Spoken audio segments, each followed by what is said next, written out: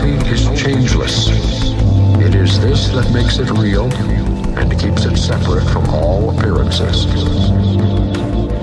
Look carefully at this world, and you will realize that this is so. For this world is the symbol of punishment, and all the laws that seem to govern it are the laws of death. Children are born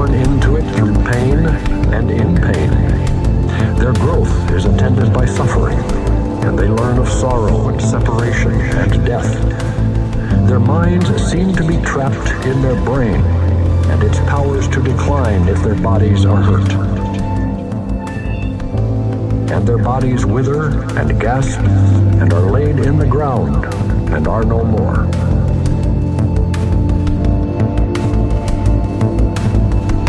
Reality is changeless.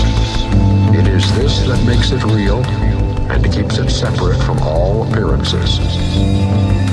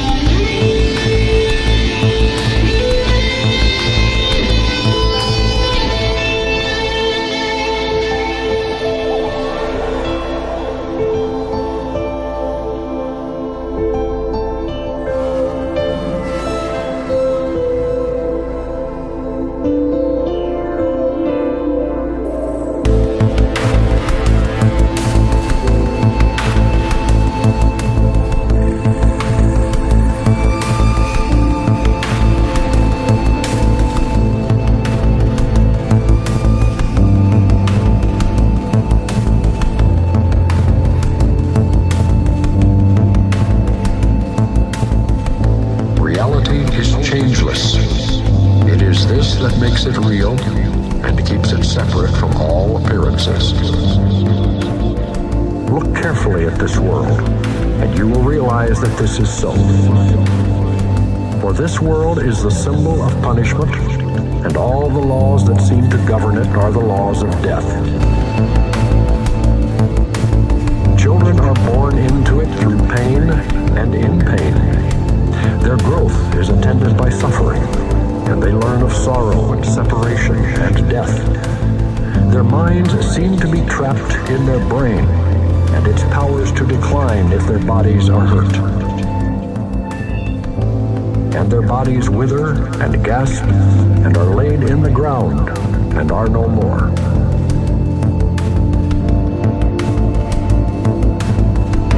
Reality is changeless. It is this that makes it real and keeps it separate from all appearances.